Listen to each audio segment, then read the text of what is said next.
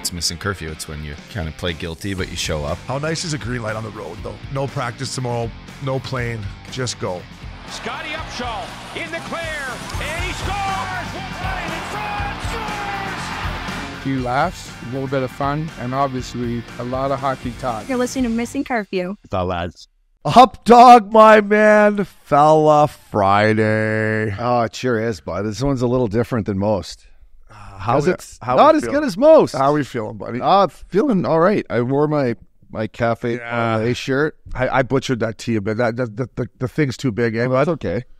A I just I felt like I, am on a little bit of a heater with the parlays on DraftKings because I, I did pick one the other day that unfortunately Connor um, he got mine a little late. He got my picks a little late. You put in one, I put in one, Yeah. and boy, if my Edmonton Oilers and my Leon Draisaitl didn't didn't smack a plus eight hundred. Well, that's how you bet. I know. That's why, like moving forward, I talked to you yesterday. Like, I think you're our guy. I think you're our part. By the way, Broadway Jimmy Scoops is looking down on you, smiling at how much, how much heat you got to be. Like, typical updog fashion. I'm like, what? What? You'll be texting me or whatever. Like, I got the over. I got this. I got that. I took live bet. If they win by, if they win by four, if it's four nothing, I got a plus twenty five hundred. I'm like, my head's spinning, bro. I, my head's spinning. But Yeah, no, I just, you're doing I- pretty well, right? I was feeling it. Uh, I was feeling it up till about yesterday when I got to the first green, um, which we'll get to. And then last night, watching this, you know, this hockey game go back and forth. Dallas. It was the only game on last night, obviously, but you know, uh, I had the over, and I, I You hit it. I waited it out. I hit the over,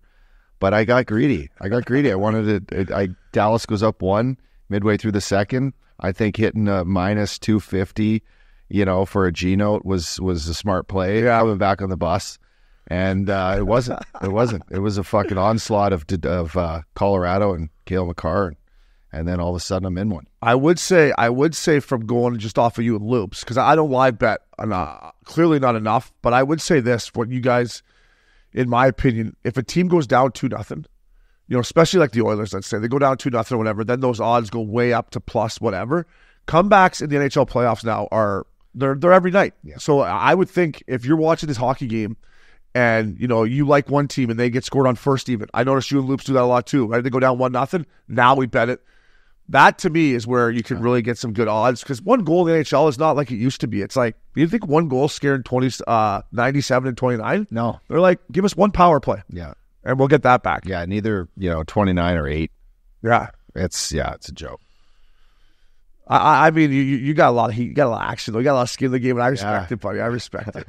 Uh, listen, we, we went up to the Cravens. Listen, we're we're honest guys on this podcast. When we play well, we're gonna talk about it. We play bad, we're gonna play talk about. It. We played fucking horrendous. However, it's humiliating.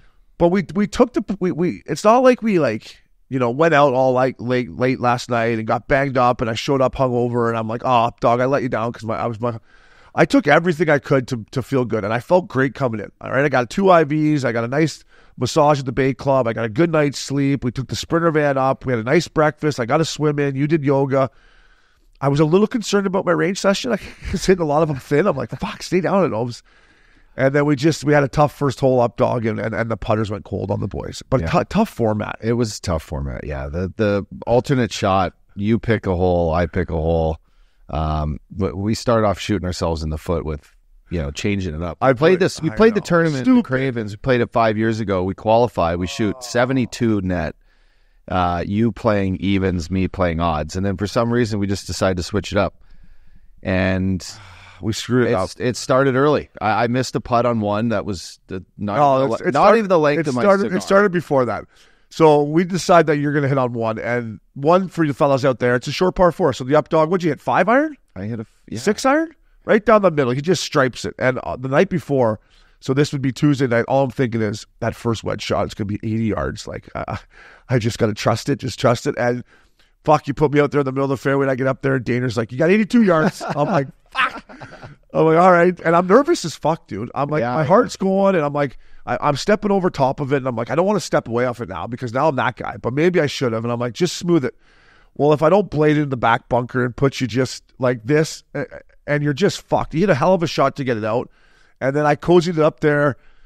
Yeah, and you kind of Herman Munson one on It the was the boys. size of my pen. I swear to God, it wasn't the length of. It was four five inches, and I tugged it. The best was the best was so we make six on, on par four, and uh, we're walking to number two, and up Doug grabs his cigar. He's like, "Fuck, Opes, you got a lighter? You got a lighter?" I'm like, "No, it's in my other bag." I'm like, "Someone get this guy a lighter. He needs it." We part two, and then I fucked up three again. I hit one, another bladed another wedge in the back bunker, and gave you even worse lie. No, I just it, it started. You know, we felt good. I thought we looked good. We looked great. I thought were great. I thought we looked great. You know, shout out to Adidas Golf. Uh, We we looked sharp, um, but you know, it, it just it was one thing after another. And then you know the the group that we were playing with, they were having a good time. They're laughing, father son. Uh, Oh, they were just hamming. I, I just looked at him. I'm like, "Do you got a doobie? I I need some." and sure as shit on ten, I just have a little quick puff, and I then I felt good. Yeah. I was actually like, okay, w- you know, win or lose here, we're gonna go down having a good. time. Yeah, well, after nine, we we had to we would have had to shoot even par and better out back. So I was like, let's just have fun and try to go low out here. And we played all right. We made we made one bad that we we when we make triple on that par five. But now we played better on the back. I thought so. Um, but the best was these two father son beauties from San Gabriel who are great guys, stoners. His old man smelled like fucking Big Lebowski, the dude. I'm like, look at this guy, he's fucking beauty. They shoot the scrappiest, as ugliest fucking like 38 or 39 in the front, and they're getting like 10 pops. So they're like they're in the midst of being in the championship flight. We play 10. Up dog has a puff with her, a puff with her. what I was it? A pipe? I'm- Yeah. yeah. I'm like these guys are not weed pen guys. This is going to be some flower from the good, good old fashioned bud. And we get to 11, and there's the buffet line, and these two guys can't help themselves. Over oh, they go. They're just baked. I'm like, I can't believe they're eating up, dog. Like, if it was me and you were playing good, I'm like, let's keep going. Like, there's nothing worse for me when you're playing well if you go in for a hot dog, unless, you know, you need a rally dog and you're playing bad. We're waiting on the tee for the guy. We're like, hey, you're up. He comes running over with half fucking ketchup on his face.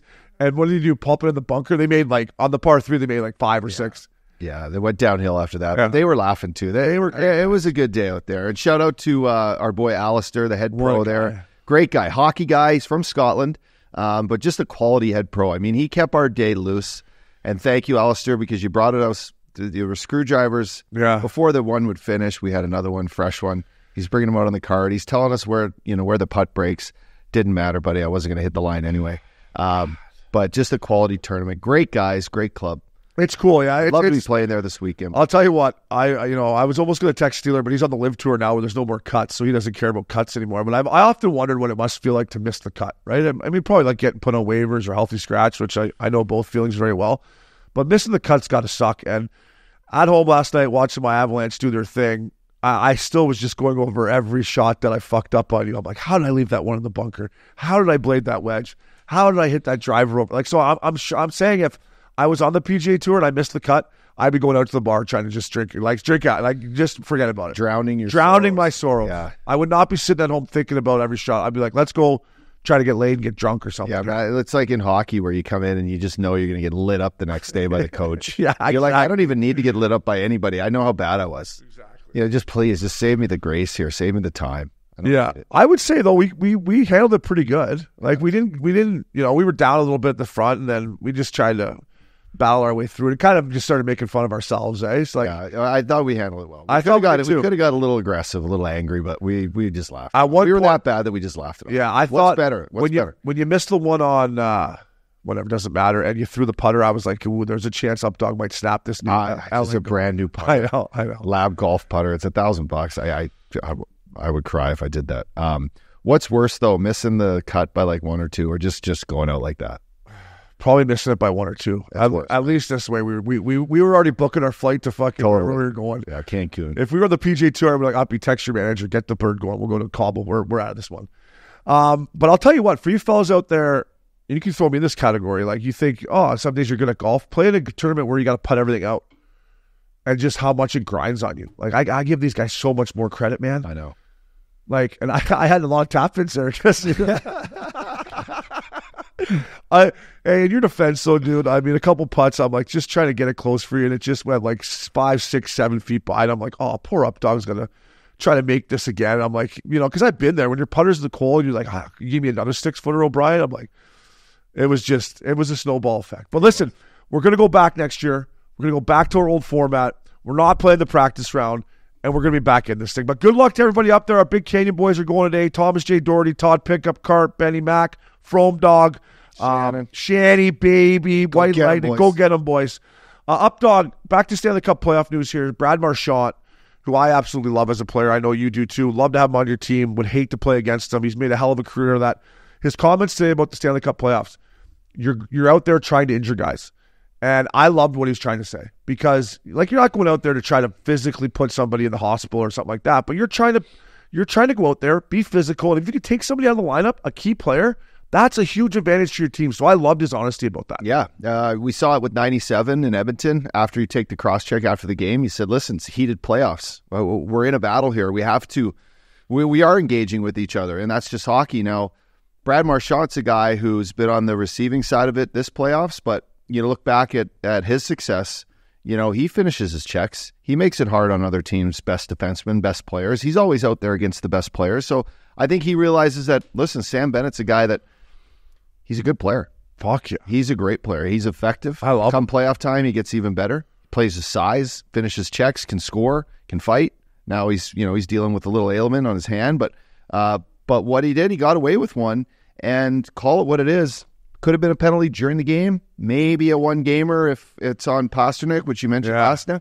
But it was effective. And in hockey, you know, I remember playing against the Blackhawks. Like every time I got out on the ice against Duncan Keith, I had to put him through the glass. And it had to be clean or I'm getting in the box and then I might not play again. So on a personal level, I wouldn't want that to happen, nor on a team level. So if you get away with it in the playoffs, that's hockey. It's just as important as scoring goals. Uh, big moments are playing physical. Big moments are getting the energy in the crowd, and that's from big hits. And you know, if, if you can get the worm, stick up in a guy's face, and just Just when I him. chirped the worm about not oh. being fucking greasy, got greasy for me. I But love look it. at the, look at the battle. So so look at the battles inside the battle. Look at like Zadorov and Kane. Look at the way Bennett and you know McAvoy are going at it now. Like th- there's all these little mental warfares in yeah, playoff game within the game. And I always, I look back and I'm rambling on here, but I look back at like the way in Philly, the way John Stevens uh, and you know Craig Berube and our coaching staff used to set up each round, and we made it to the conference finals that year. But each round, when you got that sheet of paper on the other on that other team's lineup, you had one guy, Obi. You have fucking Dave Bolland. Every time he's out on the ice or Byfuglien, Byfuglien. you got to be bigger, stronger, more effective than him. Stay out of the box, get him in the box.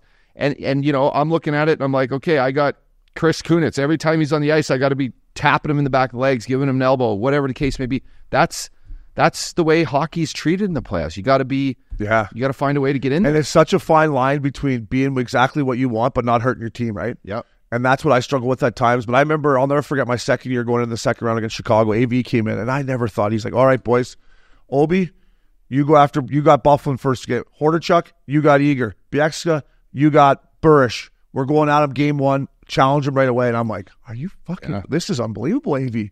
Or Ripper, you got somebody, and it was just we went out and challenged them. They didn't want to fight. But I was just like, that was our way of saying, let's get her going right off the bat- get go here. Like, Yep. AV wanted to mix something up, and I, I respect him a lot for that because he's like, all right, boys, let's go get these guys. Yeah.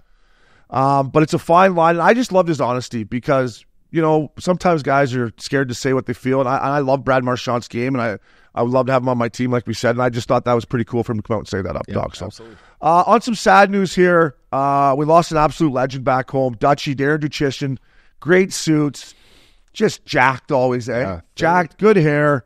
Uh, we lost Dutchy at 57, um, prostate cancer. He's been battling it for a while. I used to love watching him, man. Yeah. He made TSN fun. Like I said, great suits, good hair. He was every every week he looked like he was getting more and more jacked. So uh, this is a sad one. Up dog, 57's way too young, my man. Yeah, this is man. I uh, I look back like he went through Edmonton. He went through like CTV News in Edmonton when I was a young kid. I mean, this is 30 years now. He's been with TSN, which is incredible. I mean, three decades of him sharing sports, very heartfelt. Had a great, uh, a great smile. You know, he was always super uplifting coming through our tube in Canada. Uh, he was a proud Canadian. He's a proud sports broadcaster.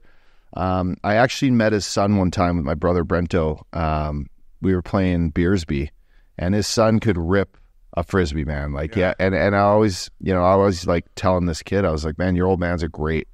He's a great guy. He's a great guy for hockey. He's a great guy for sports. And, Yeah. Um, this this is really sad. And you, you just look like 57 years old. too young, It's man. too young. He almost he was the first guy to me growing up that made like being a sportscaster or whatever you want to call it, sports anchor, cool kind of right. Like he was when he started doing it, and, and, and the way he's his his swagger and his charisma and his jokes he would have. I mean, he just he was the first guy that was like, wow, that's a good gig. This guy's good at it. He makes it fun to watch.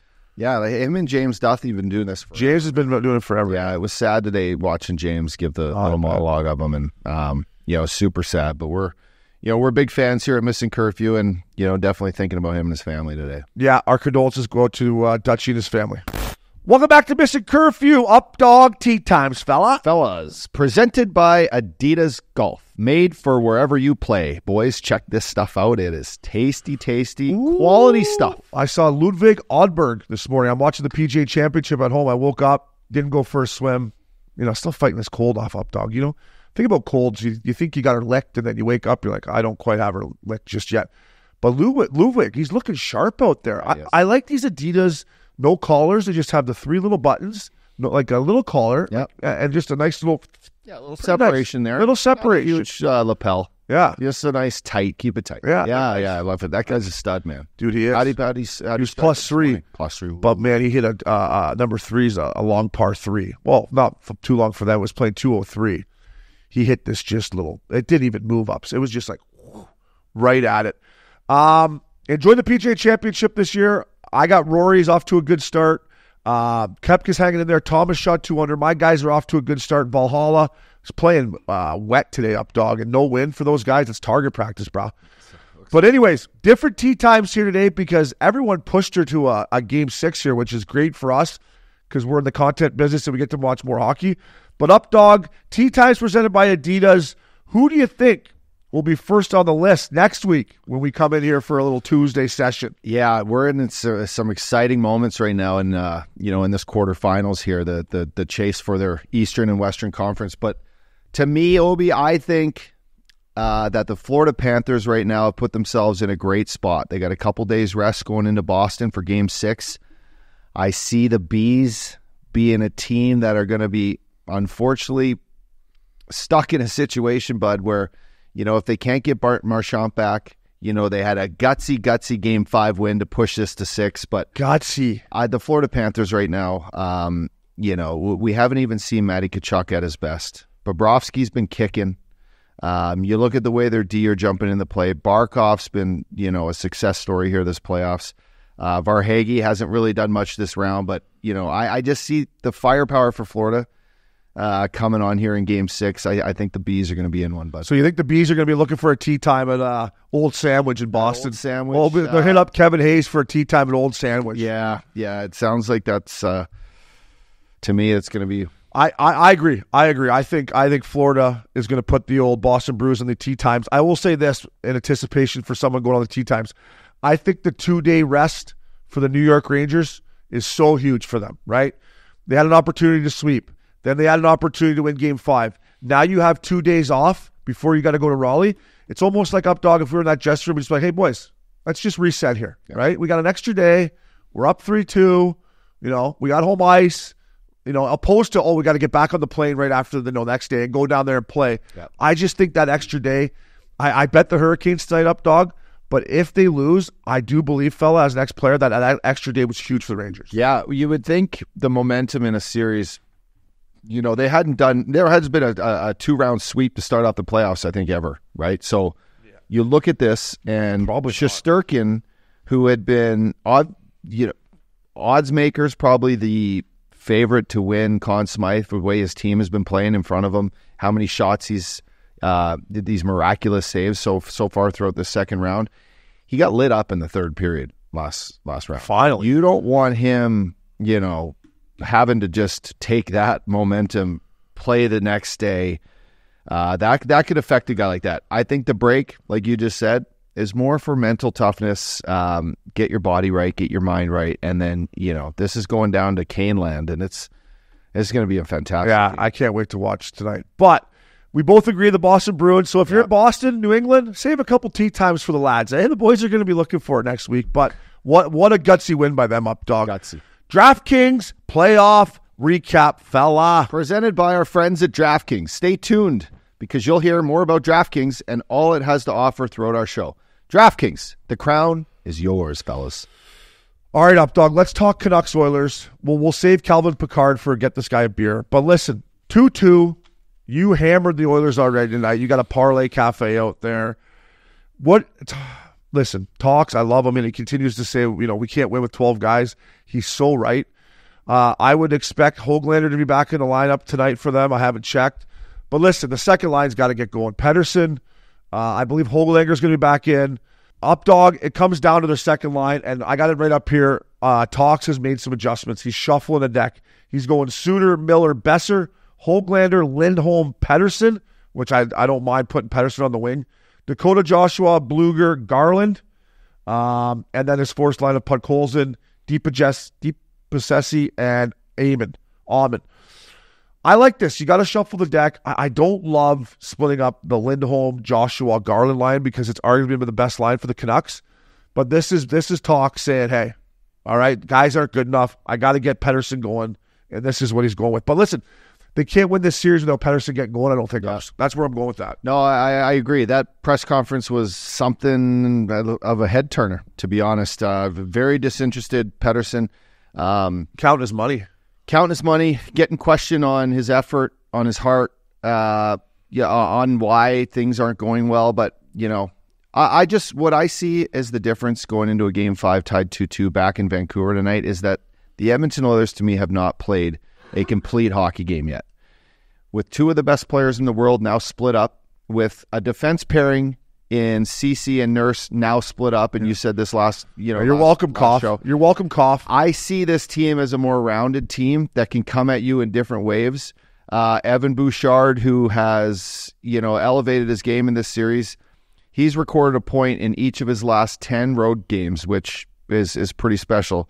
Um, I just see that the the Oilers are going to really be a team that's going to find their game. You're, you're, you're all in on the. Oilers, I am, but they they haven't played a complete game yet, and and we expect them to.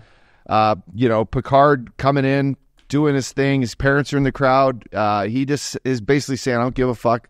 You know, whether it's my first playoff game or not, I'm going to come out there. Kicks. He he did what he had to do to win the game. He didn't let any. He didn't let in any bad goals, and that's what Skinner was doing. He was deflating the team. So, um, I don't know, Obs. I I'm still throwing my money where my mouth is. I like the Oilers here. Um, they're going on the road. It's going to be a great game tonight. Yeah, it's a heartbreaker for the Canucks. They tied up two two. Boeser throws in the net, and then you know Silovs played so good. It's hard to like criticize this kid at all. Like through a screen from the point, but any anything that goes through a goalie to me under him through him.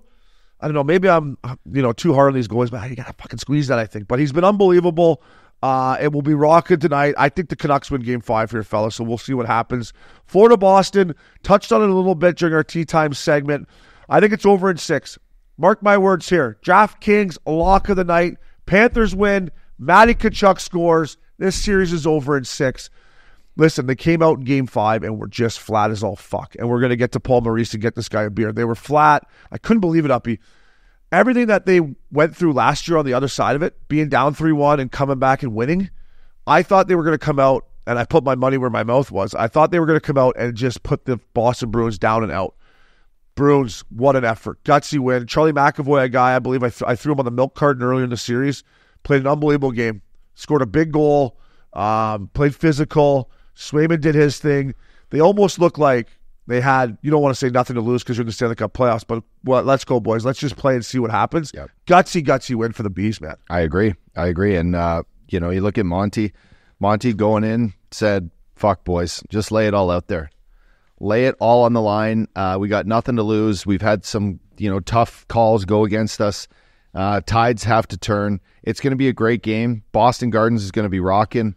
Uh, but, Great fans. But as you say, we haven't seen the Panthers you know best players be their best players yet, yeah. and when that happens, it's uh, it's turn the lights out.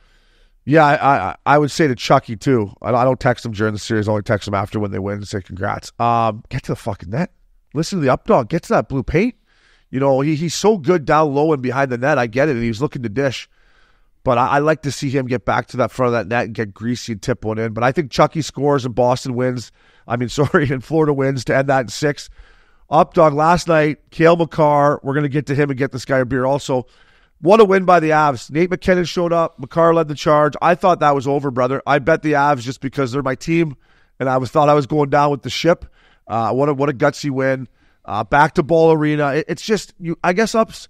You realize how hard it is to close out these teams, Yeah. right? You've been there. Backs against the wall. Let's find a way, boys. I know, and, and what you said yesterday on the way to golf, you're like, they have to win. Is Makar and MacKinnon not gonna like with their backs against the wall? Are they not gonna give their best effort and get this team into a game six? And I, I thought they were a team that was down and out. Obviously, the news with Nichushkin this week, and you know, a, a tough showing at home in Game Four. I thought they were down and out, Obes, but you know what a gutsy third period um, to be down in the game. You know, I think they even got their first lead in the series. yeah, first lead in the series. Is that nuts? Yeah, because they came back and won it. Yeah. Uh, they win an overtime game. Yeah, Yeah, they- yeah, yeah. Miles Wood, fucking coast to coast. right? Right. So Yeah. this is their first. They Feels played like with their first lead. feels like a month ago, doesn't I it? thought Zach Parise played a great. I thought Mittelstadt, who we just I we just him. chirped, I just chirped about the sprinter van. he comes back. What a what a great goal! Go ahead, goal in the third. Um, Zach Parise looks like he's playing hurt, but he's you know, and he's come out and said this Yeah. is his last playoffs. Let's go back to that Mittelstadt point just for a second. And and listen, I, I said to you yesterday when we were licking our wounds coming home together Yes, that God could the Avalanche use Bo Byram right now. And Casey Mittelstadt, maybe he's going to turn into the second line center that you know they've been trying to replace since Kadri left. And he proved me wrong last night. Scored a big goal, but that team is different without Bo Byram. They miss him. I mean, they miss him on that back end, and, and he was one of my favorite Avs. And we'll see how the trade plays out, up dog. But Mittelstadt did did prove me wrong. But I still believe that they were a better team with Bo yeah, especially when Toews is hurt or Oh, not as not himself. Like him flipping the puck over the glass last night. You know, in the middle of the second period. That that's a play. You know, Devon Toews doesn't make very very often. You can tell he's not himself, and that's those are big minutes against a big depth uh, offensive team in Dallas, where you know you can. F- it's tough to replace a guy like Bo Byram. He's so good. I know. I love that kid. He's over in Prague having a time. He's going to come on. As He's he going to come on. Yeah. Last but not least, Rangers Carolina. We touched on it in tea times a little bit. Listen, the fucking Carolina Hurricanes power play is one for twenty. They've given up, I think, three shorties or two shorties. So they've given up more goals than they've got. If that power play was anything better, this series would be over the other way.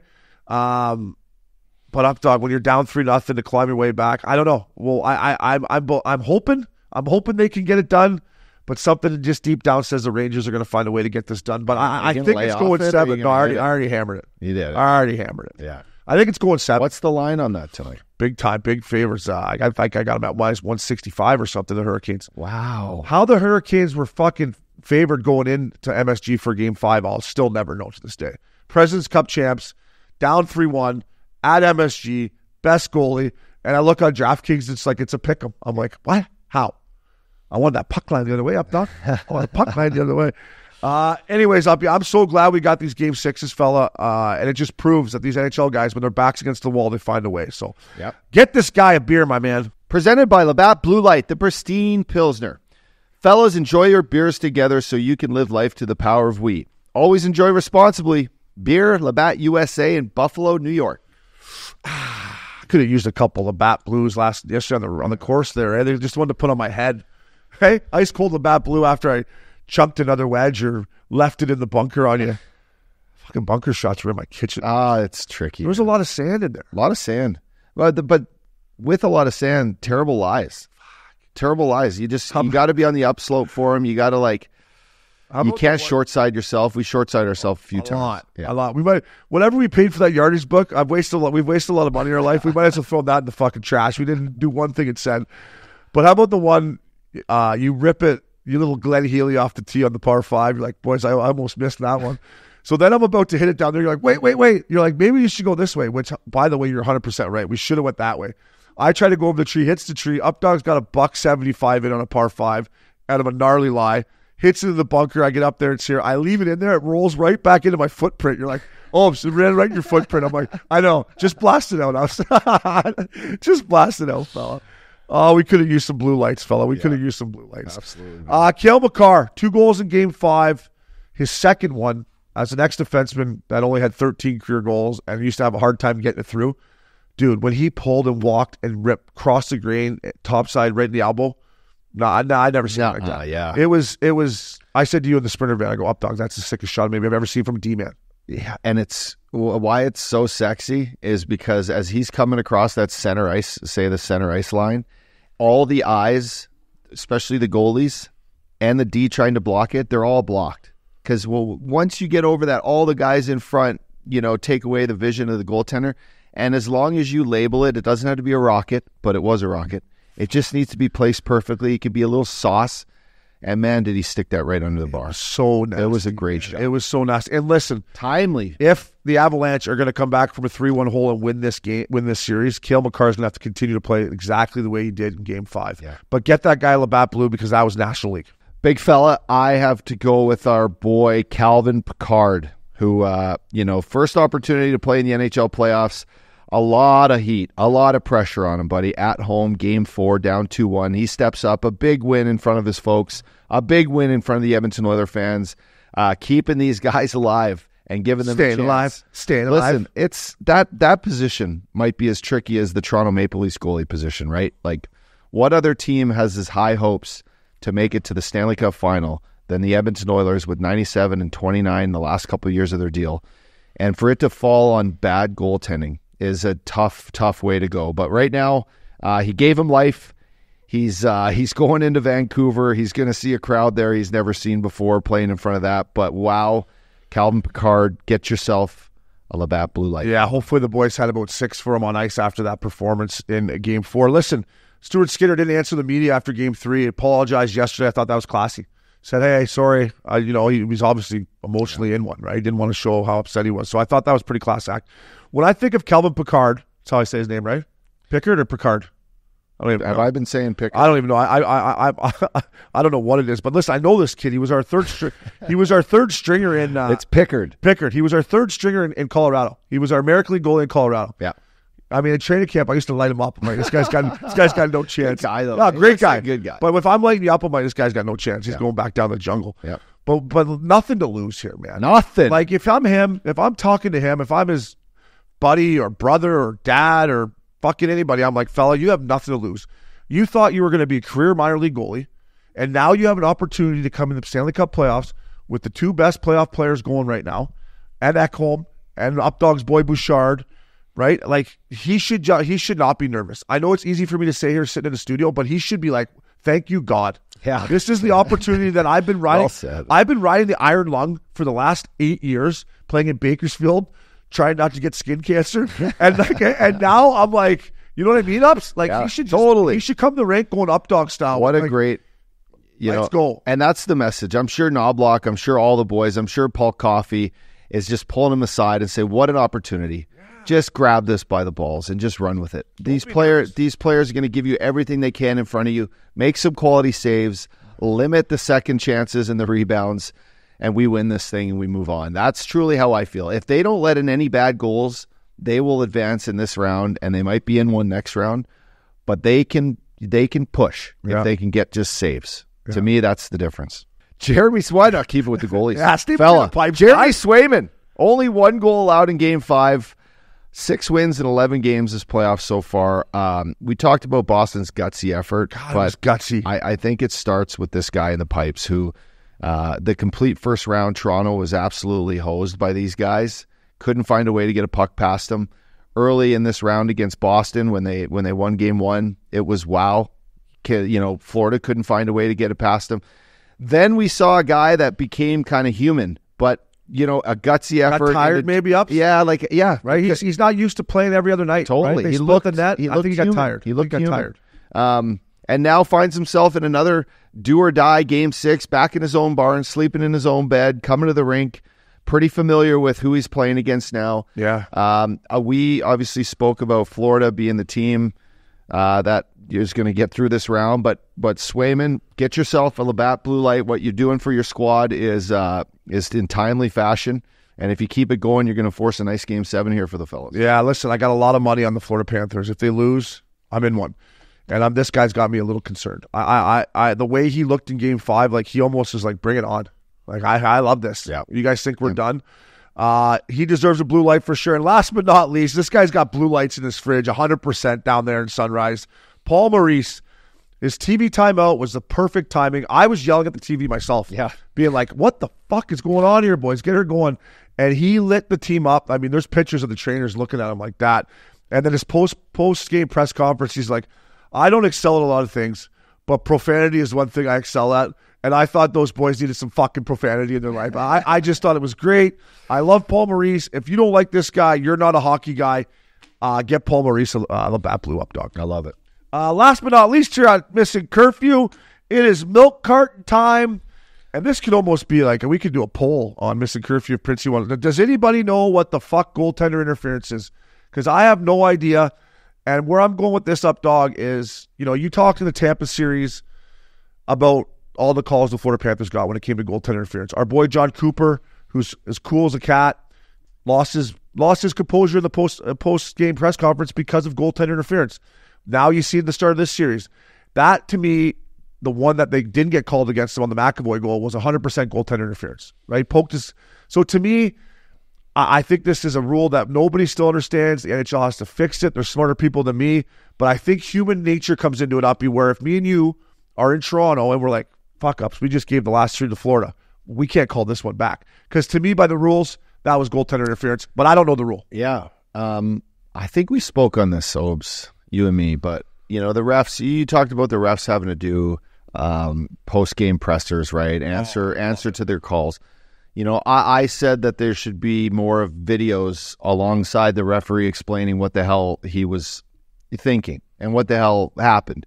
Now, in this case, you know, we don't want these moments in these big games to be decided to be decided by uncertainty and referees, you know, human nature decisions. But unfortunately, th- there'll be moments where it is. And in this game, you know, it's a tie game in the in the third period, and McAvoy comes in, and to me, Bobrovsky was completely interfered with in his crease. Ryan Callahan called Dave Jackson off of Dave's opinion, which was very vanilla. It was like, God, come on, Dave, give you the know, boy it something. was he doesn't touch him. It's uh, to me, it's a good goal. Well, Callahan stopped it, and it was argued. The guy came in and took out Yeah. his foot with that the stick, and then there's a goal scored a half a second later. That is to me interference. It should have been called, but you know we don't want these games to be decided like this. We don't want to Yeah. complain about the refs. They have been doing a good job so far. Um, Decent job. let's just figure out what the rule is. Move They were on. better in game one. They were better in round one. I know. Just figure out what the rule is. Move on. I think it's. Nobody knows the rule though. Even Dave Jackson. You Well, they're on the fucking milk cart. Who Dave, by the way, you know, called a few chintzy ones on me throughout my career. But I like Dave. But even him, I think he's scared to be like, I think that's goaltender interference because he's sitting back and he doesn't want to be controversial at all. I, I, I wish he would. I'd like to see Tim Peel in that seat. Peeler, give him a bottle of wine and let Peeler go. There'd be a lot more. There'd be a lot more clickbait stuff He'd coming be up. like, he'd be hitting the button. Let me come in. Let me come in. I got something to say. There'd be a lot more clickbait if Peeler was on there. But dude, I don't think he knows. I don't think Callahan knows. I don't think Steve Levy knows. I don't think you know me. I don't know. You don't know. I just and I'm going back to like the front of the net, man. Like, is there any way we can go back to allow these guys to to cross check a little bit? Like, let them move these guys in front of the net. And, and we won't have so many goaltender interference. But ever since Mayfield cross checked Kucherov and they put this stupid rule in, everyone just stands in front of the net. The goalie, now they're flopping. As soon as they feel something, they flop. It's just it's it's it's heading down a bad bad road up here. I don't think it's good for the game, and nobody knows the goddamn rule. What if? What if this? What if there was the referee, the the uh, uh, Toronto, right? So the referee or New York in Toronto, and then one ex player, the one ex player. So you have the ref, a Toronto employee from the NHL, and one ex player representing the players. And out of those three decisions, it's going to be two to one or three and oh. Yeah. And that's the call. That's the call. Yeah, I don't know who's Do in it the, quickly. I don't know who's in the war room, but I know there is ex players in there. Okay, there is. Yeah, yeah, Do they make the I think decision, Larry or is it ultimately on the ref? Is it Larry Murphy or Dan Murphy or not Dan? That's our boy Vancouver. Uh, there is some ex players in And, there. and like boxing, it shows the it shows the guy. NHL goal, boom, ref, no goal, boom, all the no, judges. shows the judges. Quick call. It's like dodgeball. Thank you, Chuck. thank you, Chuck. Thank, thank you, Chuck Norris. thank you, It's Chuck. ex- Thank you, Chuck exactly like Norris. dodgeball. Oh, and then you're like Ben. You're like, goal. yeah. All right, boys. We're back in this. We're back in this. Up dog. You got some. You got some great ideas, but that would be good TV. That would be good TV. So- Spice it up a bit. Up dog, one of our favorites coming at us here, buddy. Ottawa Senator, good East Coaster like yourself. Drake Batherson coming at you. Fellas. Welcome back to Missin Curfew. Uh, up dog, friend of the show. Good National Leaguer. Good, style. Yeah. Right shot. Long stick. Can bring it inside to side. Uh, I got to know him through his social media, then met him this year when they came out to play the Ducks. But big fan of this guy's game. Uh, Drake Batherson, thanks for joining us, fella. Oh, pleasure, pleasure's mine, boys. Big Yeah. fan of the pod. Happy be here. Yeah, I appreciate the support, fella. I love I love getting a little text from you or a little DM from you when you're uh, commenting on the pod. It's nice to know that that young National Leaguers are, are listening to our nonsense. They It is, yeah. washed And- up slugs. Well, yeah, and it's a guy that you'd probably want under your wing. Like if you showed up to training camp as a free agent, you're like, hey, hey, Drake, let's go for lunch, bud. You're going to be one of my guys. I'm going to tell some stuff to this year, bud. Yeah, I tell you what, I would have liked to wheel the net and see him on my wing, just so I know if I give it to him, that he's going to make a play. Right? I'm like, if I give it to him, I know you're going to make a play, anyways. But uh, Bath, thanks for joining us, fella. Uh, you're in Halifax. How is it to be back home? And I've never partied in that city, but I've heard good things. Some of my boys went to university there. Um, fun little city, isn't it? Oh, it's unreal, man. Yeah, I, I love coming back in summer. Uh, lived here for about seven years now, and yeah, you can definitely find a good time uh, downtown Halifax. And uh, you know, it's only growing right now. The city's city's firing all cylinders, so it's uh, you know, it's fun to be home and uh, good to be back. What's that sick golf track out there that you always talk? Well, there's, I mean, I don't know in Halifax. There's got to be some nice ones. Are you a member anywhere out there, or is it like, are you just trying to like dial in the weekend trip to Cabot? And how far is Cabot? Yeah. Yeah, no, Cabot's about I would say two and a half hours from Halifax. So during COVID, they were only letting Nova Scotians play, so I was up there about three or four times, and uh, no, it's great. My my dad's side of the family's from Cape Breton too, so we get up there a lot. And uh, yeah, I'm a member of my hometown. Uh, it's called Kemlo. It's uh, it's a small town I'm from, but uh, no memberships in town here yet. But I'll, I'll just join groups uh, here and. How is the golf game, fella? I'm I'm a seven handicap. The up dog is, says he's a one, but you know it could be a plus one. What what's your handicap? How's your game? What's your strength? What are your weaknesses? I might need a guest here at a, a member guest in the near future. So tell, I I- know you're a good guy to ride in the cart with, but what's the rest of your game? Yeah, no, I'm about a three. Um, I'd say I'd say my best part of my game is probably my short game. Um, the driver's all right, and then the irons need some work. But my home track's a short course, so it's usually driver wedge, which is which is good for me. Is it a little like Newfoundland? Like when I go back to see my folks, my fam- family's East Coasters, but you know the courses are you're playing on like the grass is different. It's like tundra up there, man. Like you know, it's well, it's called the rock too, right? Like is you know if you if your ball goes in the bush, are you in there like hacking off of like rocks, or what's the terrain like in Halifax up there? Yeah, it's not bad. Pretty pretty rocky some courses, and then other courses is, is all woods, so a little swampy in there. But uh, no, it's nothing like uh, your guys' course up there. Um, the fairways and all that are a little different, but you know, we make do. That's for sure. We got to we got to get you out to Big Canyon. Unfortunately, when you guys came out, you were, it followed on a Monday, the only day the course is closed. But uh, you played Pelican Hill. What'd you think of that track? There's some sick views out there. Oh, it was sick, man. Yeah, that whole area is unreal. Um, coming where coming from where I'm from, you don't really see that a lot. You pull in, you got all the nice cars parked out front there. So that was a great, great day out there. Uh, tough track and uh, lost some cash, but it was a good day overall. Hey, I, I feel you, dude. That's where me and Updog and Loops used to play back in the day. And I remember when I first moved out here, I I pulled in, there was Rolls Royces and this and that. I'm like, man, I, I don't belong here. Then I remember one day I walked in there, there was like a, a Michael Jordan golf bag. I'm like, no way, that can't be. And I walked in the men's grill and, and there he was. There he was, Black Jesus just sitting there, the black cat, and boom. I'm like, wow, this okay, I'm not in Port Hope anymore, all right? This is this is pretty cool. This is pretty cool. Yeah, Uh, 100%. Bath, I want to ask you about you know the obviously you guys you know missing the playoffs is not where you want to be, but uh, you know talk me through the year end when you're you're hanging out with the boys and, and you said bye to everyone. How was everyone feeling? Looking forward to putting last year behind you because you guys got so many good pieces and you're going to be a good team eventually, and it's hard to win the NHL. How was the spirit of the boys when you guys finally had your year end bender and we're, we're, we're heading home? you know, it's always tough. I think uh, you know we were out of it for for quite a bit, but you know we got such a young, good group of guys who, you know, we've been together for now five, six years. So, uh, you know, we're itching to you know be playing hockey in the you know end of April, uh, hopefully next year. But uh, a great group of guys, and you know we believe in one each other, and uh, well, big summer, and we'll be we'll be ready to go next year. Yeah, and I believe in that, and and I believe in your group because of the skill, and I've got to know you and Brady and some other guys on your team. You got good character in there as well. But talk about your GM, a guy that me and Uppy both respect, and steady Stevie Staios. Uh, what was his message to you? Um, because I think he is the right man for the job. It's it's you know we're going to talk about the coach he hired, but what was Stevie's message to you, or maybe the core group when you're heading off for, for an off season? Yeah, no, Steve's uh, you know a really competitive guy, and you know I got that feeling off him. You know, the first day I met him, and he was great for us this year. Um, obviously, brings a ton of experience. You know, playing over a thousand games, and uh, yeah, the message was uh, pretty much let's just not make this a you know, reoccurrence again, uh, not making the playoffs. So, uh, you know, there's obviously some changes that are going to happen this summer already, you know, with their, new coach coming in. So we'll see what happens. And, uh, the guys are, guys are, guys are still excited to, you know, come into the rink and ready to go. Yeah, and one last thing about last year too. Obviously, you know, I was a big fan of DJ Smith, and listen, we all be in the league. And if you don't win, you can't trade the whole team. Guys get fired sorry, guys get hired to get fired. But then you brought in Jacques Martin, and I grew up a Leafs fan, and I used to I used to hate Jacques Martin. Okay, I was yeah. like this fucking guy, Jacques Martin. I but believe he's still there, yeah. like as a head coach. Yeah, but how was it for him to, you know, not an easy situation for him. Hasn't been a coach for a long time. How how was it when he came in and, and him and Alfie and uh, how was that under under an old school coach like Jacques Martin? Yeah, no, it was different. Um, obviously, we had DJ, who's you know a guy who who talked a lot and uh, you know, and then Jacques came in. He was kind of just a, a, common presence for the most part.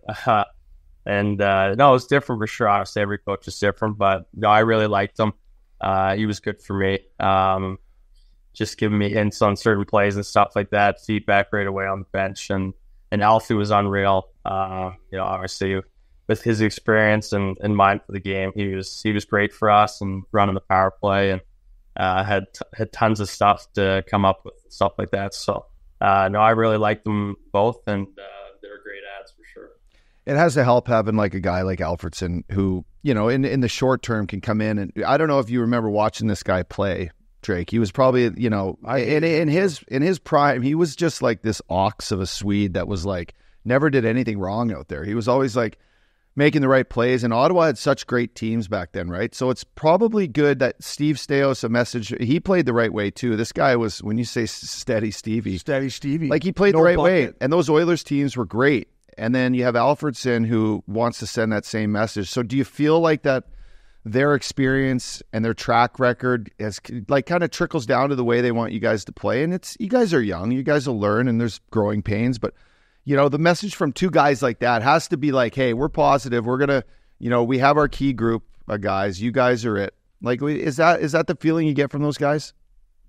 Yeah, no, it's great. Uh, you know, having both of those guys and even like Chris Neil and and Phillips and those guys are around the rink all the time in the room, shooting the shit with the boys. So it's just fun uh, having those older guys played forever to come in and have a coffee and, and, shoot the shit with them. Where in years past it, it wasn't like that. And just nice getting those uh, those old guys back who, who played there forever, and uh, I think it's just great for, for everyone having them around.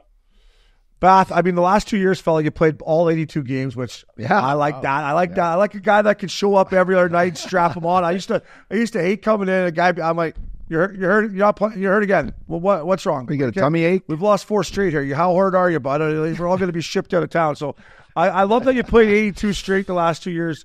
You had a career year, fella. You had 28 snipes. I watched a lot of your guys' games. I guess my question to you on a on a on a personal level is, what's the hardest thing for you now that you're you know 309 games? What's the hardest thing for you in the NHL when it comes to consistency? Is it you know what is it to you that is going to make the difference to be a playoff team? I guess is where I'm going, fella. Yeah, I think just as a player, you want to be as consistent as you can on on a nightly basis. And know, I remember when I first got called up from the minors, I had a great start and I got like seven points in my first five games and thought it was going to keep going like that. And you, you find out pretty quick uh, that it's a pretty tough league. I think I went dry for about 10 games. So right then and there, I was like, oh, you got to be pretty consistent. Um, so that's my main focus, just trying to play the same way every night. Um, you know, whether it's, you know, scoring or, you know, finishing my checks or anything like that. I think uh, you're playing consistent as a player and as a team, it's only it's only going to help for sure. That's what it is, right? It's consistency. I, yeah. Sean O'Donnell told me my rookie year. He said, "Holmes, I'll give you a piece of advice.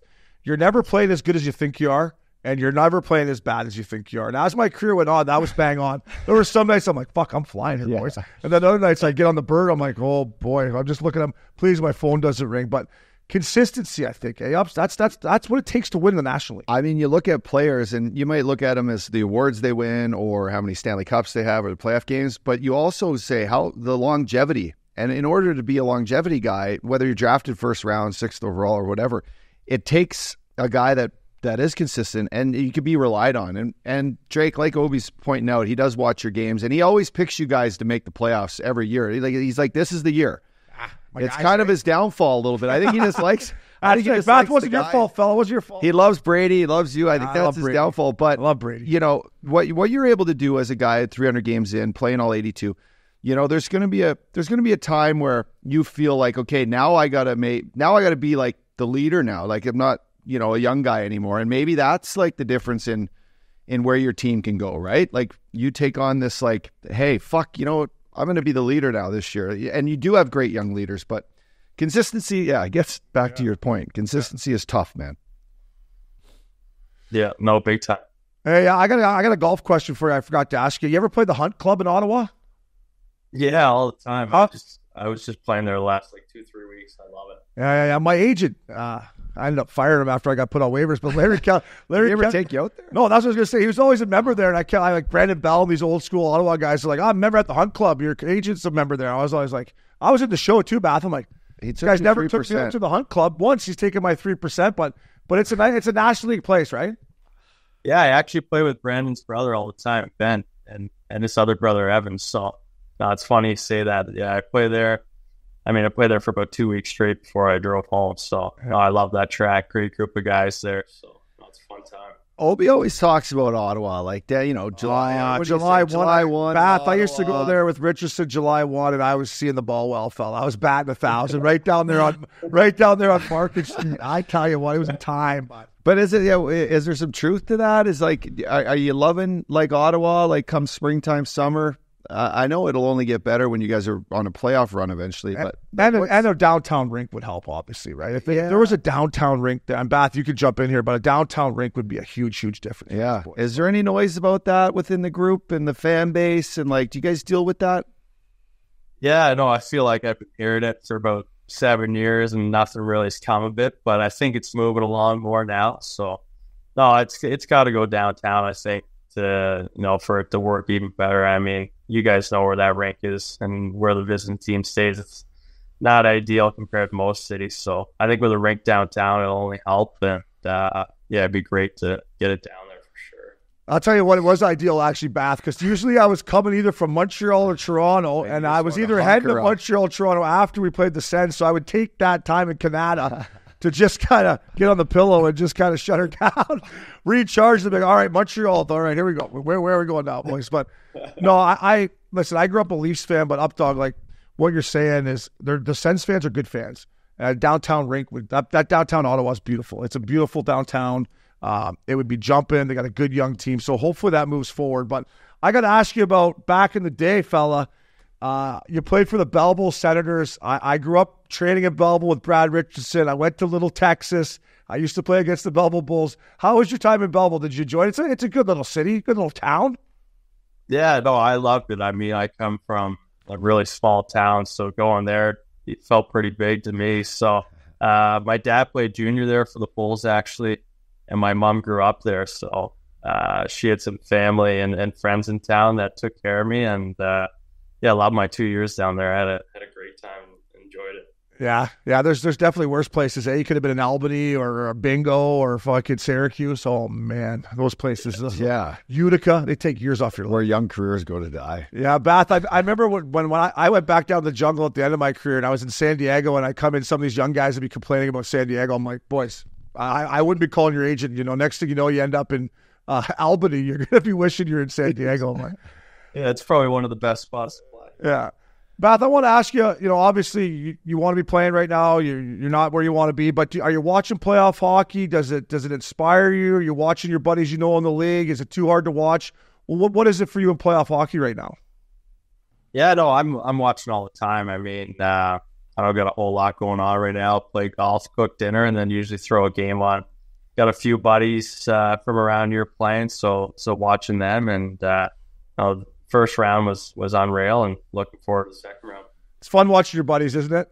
I, I used to get to watch. I used to get to watch this guy when I was done playing, or I come back from Europe, and me and Loops be like, "Let's go fire on the game and see what Upshall's going to do tonight." And when your buddies playing for the Stanley Cup, it's if it's not you Yeah. or your brother and about your boys, it's fun to watch, and it motivates you to, to get back there. Yeah, and and just talk a little bit about you know the the Halifax. Let's just say the Halifax connection. Right, you guys have some incredible talent that's come out of there, starting from you know from Sid to MacKinnon to yourself to uh, Marchand. Like these guys, eh, is it all? Is it a group of guys that like you know push each other? Is there something in the water up there?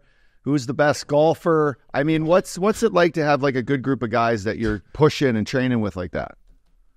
Yeah, no, it's great. Um, Marshy's actually my next door neighbor, so we're right next to each other on the lake here. And then Sid and Nate are just down the road, and we got a bunch of guys, uh, you know, playing the minors. Uh, so it, it, it's a good skate for sure.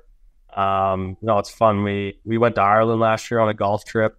Uh, me, Sid, Nate, and it was, it was a great time. So uh, the boys all love to swing them, and uh, yeah, no, it's just a great group, uh, training group from coming from Halifax, wouldn't really expect it, but no, we're, we're pretty lucky to have the group we do. A little different skate than we had out Yeah. here. I wouldn't want to show hung, show up hungover to that one, eh? With Nate and Sid, and then you guys flying around. You're like, boys, slow down, eh? Oh, that's Monday. It's Monday here, fellas. Not as yeah, as a defenseman, you're fucked going against those Oh, guys. but I, I was we would we'd have like ECHL guys out here skating. They'd be dancing by me. I'd have to, like, confidence I'd have to like two hand them. I'm like, if you go by me again, kid, I'll, I'm gonna break your ankles. Eh?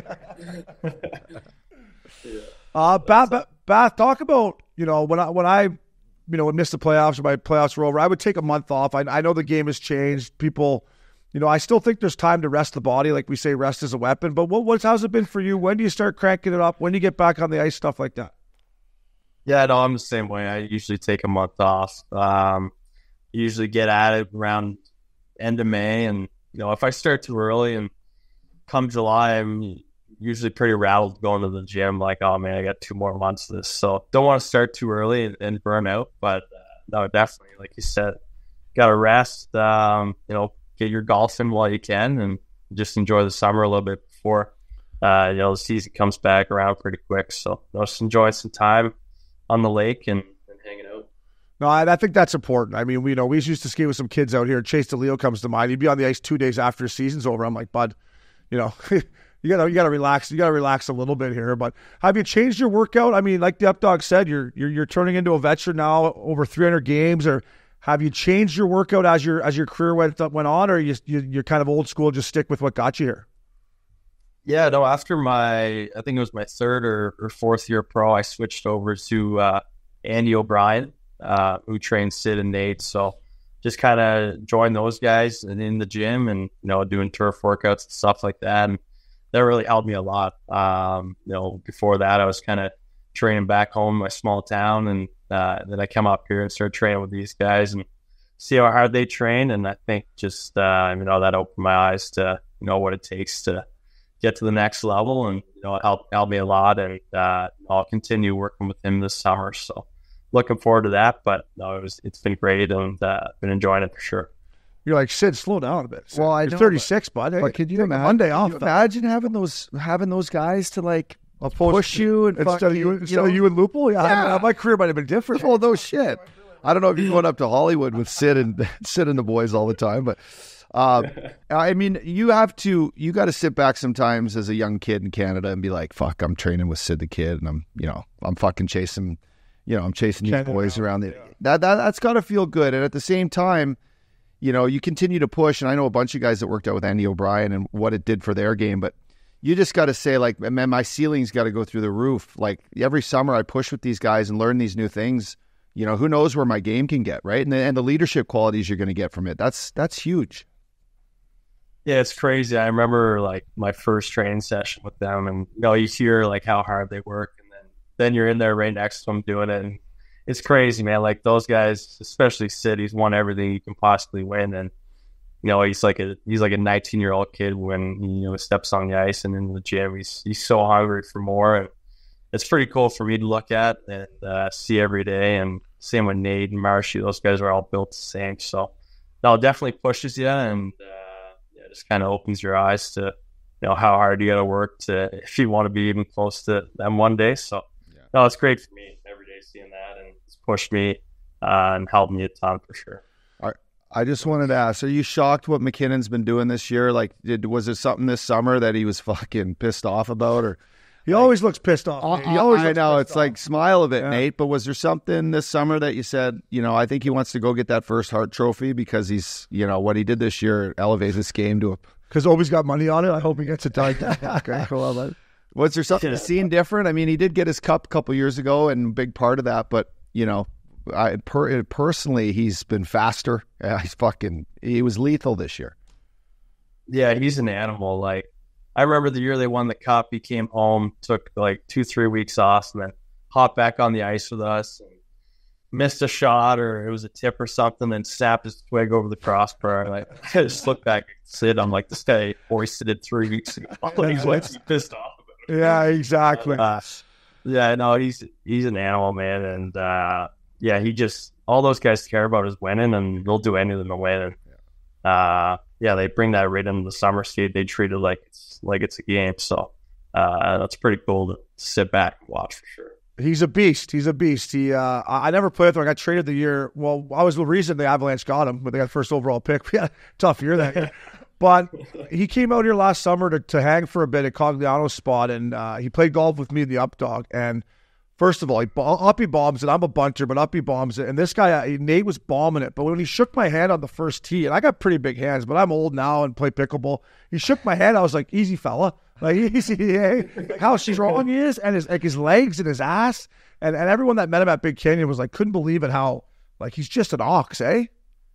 Oh yeah, man, he's, he's just built. Like everyone asks me, like how much like does he weigh or whatever. He's just around 200 pounds, but he's just like you said, built like an ox, strong as anything, and just so explosive, man. It's crazy. You're doing two on ones with him in the summer, and your skating hurts. You can't just keep up. He's just floating around, dancing out there. So yeah, no, he's something else, and uh, not surprised one bit by the year yet. Just just seeing him every day. And he's rich too. eh? and he's fucking rich. That's a rich club. That's a Well, there's rich. one thing in college. Oh, that's a rich skate you got. Sid's the most, the highest paid guy of all time. Nate Dogg's making twelve. Marshy's making six or seven. yeah, he's underpaid. That's a that's a nice. That's like well, lunch has got to be good around there, eh? Like, hey boys, I'm coming. Sid, you got it today, or Nate, you got it today, fella. Yeah, no, it's tough for me to grab a bill. They don't let me. Yeah. So Oh, that's I a go day. to lunch every day, and uh, yeah, I, I try to pay, but they, they don't let me pay. Sometimes they say it's, it's not good to be the smartest guy in the room. Yeah. Well, neither to be the poorest guy. Oh, that that's nice skate there. yeah, yeah, yeah. Ba- uh, but I got one thing, Bath. I want to ask you. This kind of goes back to playing in Ottawa, but just you know, I played in Canada in two different situations. I played for the Canucks and absolutely loved it, and I played in Calgary and I didn't want to leave my condo, and I, it was miserable.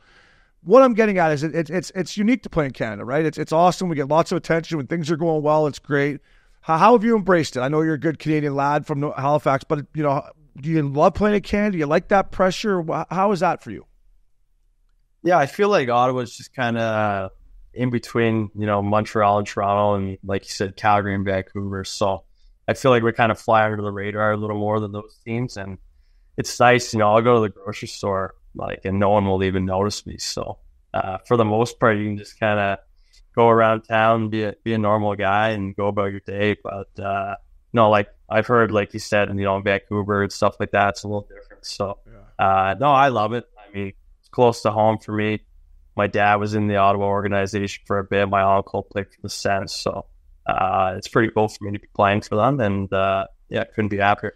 So that's why Brady takes his tarp off. No one knows who he is. eh? I was wondering why. I was wondering why Brady keeps taking his tarp Oh, off. I don't know. He can go. He, he can go unnoticed. Oh, I'm just joking, That I love when that. He's that big He's fucking noticed that sure. big fucking head he's got on him and that ass. That I- fuck is he? A, I just love the the videos that trickled out the last couple of years of him singing. I think it's Mr. Brightside or whatever. He's got his tarp undone. I'm like, that's that's a hockey player right there. Look at that beauty. But uh, Let's uh, shift gears into some, you know, some news. I mean, I mean, this will probably come out in a couple weeks, but you know, you guys uh, recently hired new uh, face to the franchise head coach Travis Green. We were a little shocked because we had dinner with Greener not too long ago uh, when he took over for the, you know, the New Jersey Devils as the intern. But um, your thoughts on, you know, having a new yeah spokesperson behind the bench, a guy that we know well. I can tell you what, I had his training camp in Vancouver. You're gonna You're gonna have to be in shape for that one, uh, but which you will be. I have no question you you won't be. Get but the gro- get the groins loose. but listen, g- hey, listen, great guy, demands a lot out of his players, very direct, um, especially with his star players. So heads up. But um, no, just, what are your thoughts? Have you met Greener? Are you excited? What, what's the message amongst the boys here so far? Yeah, no, we're all excited. We were all chatting this morning. Uh, I don't know him personally, but my dad played junior with him in Medicine Hat, so he knows him a bit. Um, so my dad filled me in a little bit, but yeah, no, I'm excited to meet him. Uh, the boys are excited to to get him, obviously, and uh, I think he signed a four year deal, so he's gonna he's gonna be there for a bit, and you know, it's exciting for the city and the fans, and uh, yeah, just looking forward to training camp. Maybe not the the bag skates, but no, I'll be excited to meet him and get him in with the group. I played with Greener. I'm like, well, I heard your training camps are hard here. But who you kidding, Greener? I saw him. Like, hey, he was always like, day off. Fuck, we don't need to go out there. Come on, Rest boys. is a weapon. What? We're practicing today. I'm like, Greener. Now you're making these boys like, got to make sure they're in shape. Bulbs. Got to make sure. They're, I'm like, I used to hate hard training camp. I- I'd like to know what NHLers come to camp now and not in shape. They're all in shape, Yeah, that's true. That's true. right? But I, I- I guess I mean Torch's camp was the most hard, like the hardest camp I've ever been through. But then he gave you tons of days off. Is Yeah. Greener like that? I know you didn't make that squad. You ended up signing in St. Louis, but I think he's good with the days off. I know. I mean, we got one day off is when we landed back from China. Oh, yeah. He's like, "Yeah, take the day." I'm like, "I hope so." It was a fucking 25 hour flight, Like, give us give us two days off. But right to the Roxy, bud. yeah, but Bath, I think he'll be good for you because he's an old school guy. He's a good dude. Updog's right. Like he's very you know structured and stuff. But I think that will help you guys because he'll also let your offensive guys like yourself and Brady and Timmy do their thing. I don't think he's going to hold you guys back offensively, which I think will be a good fit with your young core. Yeah, no, I'm excited. I mean, um, like you said, everything you just said uh, sounds great. So I'm looking forward to it, and uh, yeah, can't wait. How about any summer trips, buddy? You going anywhere? You got anything planned? Uh, you said Ireland you did last summer, or are you going anywhere this summer? Yeah, Ireland maybe again this year. We'll see. It's in the works right now, and then uh, I got a bachelor trip in uh, Punta Cana at the end of the month. A little, we're staying at the Punta Espada golf course down there. I heard it's unreal. So, about twenty of us, and other than that, a few weddings. Not too much, man. I like kind of just hanging down out east and uh, hanging with my buddies. You're on the lake. You're on the lake. You said right. That lake life's awesome. I, I should have spent more time. Halifax, I should have spent more time on the lake and less time in Hollywood. You know, I think I would have been better off. Have you been to George Street Festival before? I'll be up there end of July. Yeah, no, my mom's side of the family's from Port Basque. Oh, they are right on. Yeah, we're from the other side there, so I used to go over there salmon fish with my grandfather every summer, and uh, but I haven't made it up to George Street Festival. No, I mean, Uh, listen, I I'll that's a good time though. I'll be full force if you want to come in. You know, for a little Villa Fella tour trip. Don't tell. one-dayer. Don't tell Greener you're going in to see the updog though. Hey, don't tell Greener you'll be you'll be on PP two before camp starts. You're like, what happened? here? You know, all you had to do for that with Upshall, you're on power play two. That's great. Hey, Bath, uh, you're a great kid, buddy. We're pulling for you here. Enjoy your summer. And uh, thank you so much for taking the time. I, I know you're busy in the off season and, and doing your thing, but thanks for the support, buddy. Enjoy it. And we're looking for you to light it up next year, my man. I appreciate it, boys. Thanks for having me on.